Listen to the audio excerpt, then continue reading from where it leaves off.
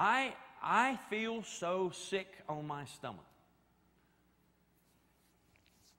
And have been ever since the Supreme Court did what it did several days ago. First of all, it was, un, it was illegal. It was unconstitutional. And what kills me is nobody's contesting it. Where's the ACLU that should be looking out for our rights and keeping one particular branch of the government from taking our rights away? When I saw the White House arrayed in those rainbow colors, I was sick.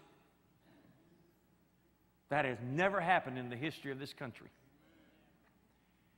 I want to know why on the 4th of July they didn't color the White House in red, white, and blue. Folks, whether we want to admit it or not, this country stuck its finger in God's eye. And the leadership of this country has applauded it. I am, uh, I, feel a kind of a sickness on me right now as I think we crossed a line. This country crossed a line a few days ago. I preach to you we are to be compassionate, and we are. But that does not negate the fact that we went somewhere we've never been before as a nation, and we're going to pay for it. And the leadership is responsible for it.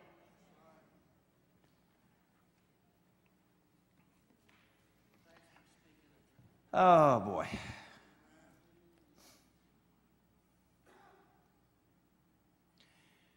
When, when they congratulated each other, patting each other on the back, talking about a new day, I'm sorry, as a believer, I just wilted. I wilted. We've gone somewhere we've never been before as a nation in our conscience. We've opened up something that will never be, well, it will never be returned to what it was. So you may now get ready for faster, more God defying acts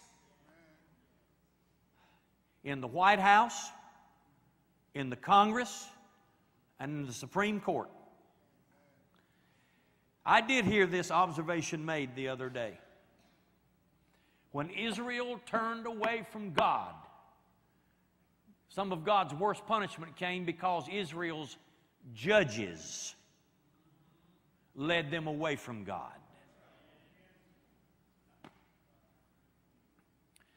I wish I could be happier this tonight and have a big time. This is how serious this is to me. I have never felt what I'm feeling tonight about this country. I have never seen a power come over it. In times past, there would be people rising up and pitching a fit about our individual freedoms and rights, and it's not happening. You know why? Because a spirit is now controlling it. A spirit from another world. It might even be that old boy right there who has finally moved in. He found his place, he's got a foothold. And this country thinks that it's immune from another attack. We think the economy really is going to recover. We think people are going to love us. Folks, if we've ever prayed for this country, we better pray for it now. And if there's anything that irks me as a pastor, it's this election voting political business. I'm, I'm going to bring this up one Sunday pretty soon. It is not right when you can talk Christ and Christianity and holiness and all that stuff, but when it comes time to vote, you vote somebody that promotes abortion, promotes uh, perverted living, just because he's in a particular party or she's in a particular party.